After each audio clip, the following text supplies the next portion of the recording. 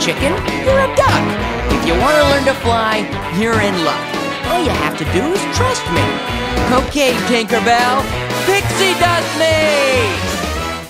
Just think of a wonderful thought.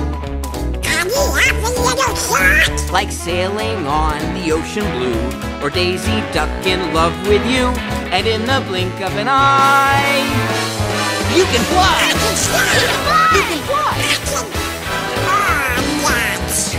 Right, get off the floor.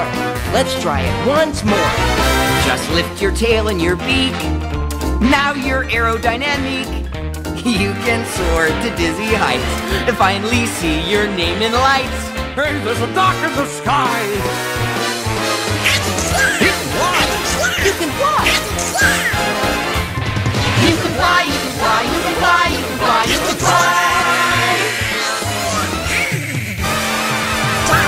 Yeah.